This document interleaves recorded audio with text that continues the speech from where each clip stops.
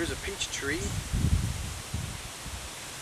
I planted this three years ago. When I planted it, it was uh, about this tall. It's about this tall when I planted it. And now look how tall it's got.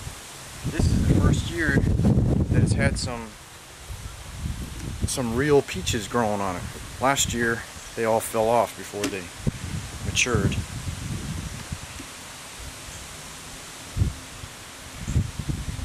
There are peaches all over this thing, and I've had to actually thin it down.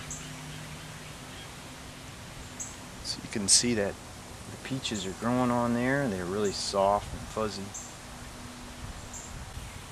I've been thinning out the peach tree. If I see little tiny ones like this, I've been throwing them out down to give the bigger peaches a chance to ripen up get as big and sweet as possible.